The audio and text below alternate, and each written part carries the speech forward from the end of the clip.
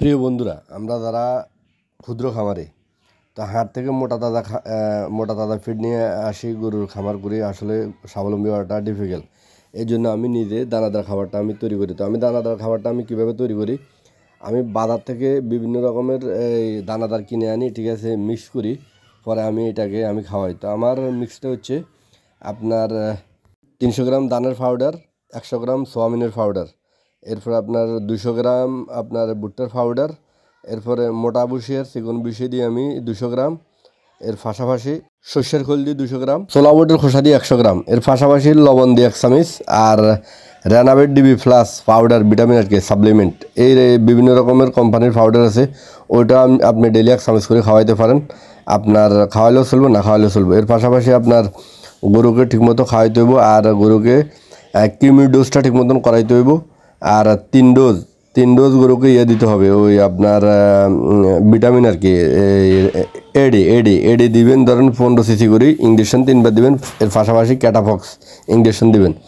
এটা হচ্ছে আপনার গরুর মোটা তাজা গরুর প্রাথমিক চিকিৎসা। এর পাশাপাশি আপনাকে তো গরু আনা, আনার পরে গরুকে পরিশোধন করে নেবেন এবং গরুকে আপনার কিমির ডোজ করানোর পরে গরুকে কিমির ডোজ করানোর আগে লিভার টনিক খাওয়াবেন এবং জিঙ্ক খাওয়াবেন। জিঙ্ক খাওয়াই গরুকে পরিপূর্ণ সুস্থ করে নিয়ে এরপরে গরুকে ভিটামিন এডি এবং ক্যাটাবক্স মারবেন।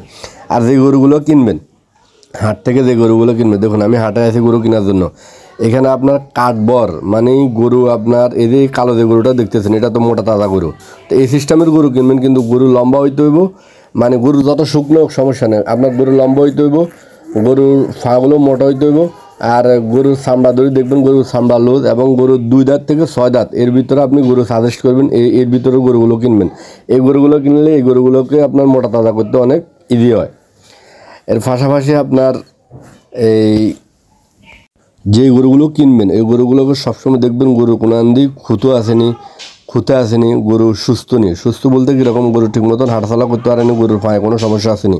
গরুর পায়ে হাট থেকে আনতে, গরুর পায়ে যদি খুরা রোগ টোগ থাকে, এগুলো থাকলে অনেক সমস্যা।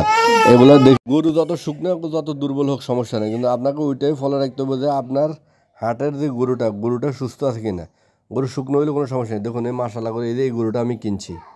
এই গরুটা আমি কিনছি, ওই কালো এই গরুটা আমি কিনছি, কালো আর লালের উপরে। আর গরু সবসময় কালার দেখবেন, কালার সুন্দর মানে ধরুন কালো হোক, লাল হোক গরুর কালার সুন্দর দেখবেন, গরু যত শুকনো হোক, সমস্যা নেই।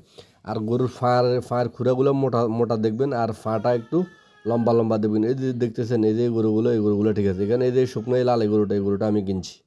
হাড্ডি গরুর খামার করতে আপনি এই জিনিসগুলো চয়েস করবেন। গরুর ফা লম্বা এবং মোটা দেখি, গরুর কাঠবর লম্বা এবং বড় দেখি গরু কিনবেন।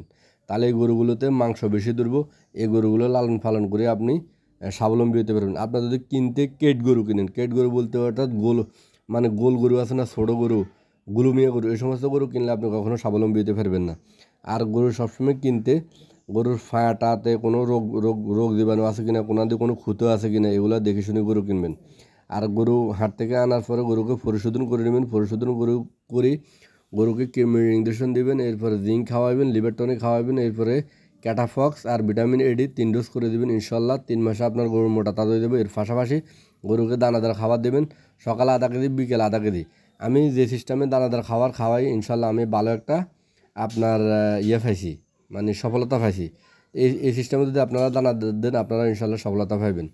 দানাদার এটা ধরেন ভুট্টা, ভুট্টার গুঁড়ি এবং সয়াবিন দানের দানের আর ভুট্টারে পাউডার করে নিয়ে আসবেন মেল থেকে। আর আপনার শস্যের খোল দিবেন।